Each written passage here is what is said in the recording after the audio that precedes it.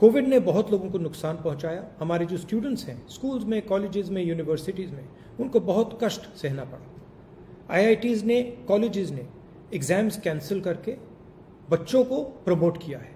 UGC confusion create कर रही है। यूजीसी को भी एग्ज़ाम्स कैंसिल करके पास परफॉर्मेंस के बेसिस पे बच्चों को प्रमोट कर देना चाहिए। धन्यवाद।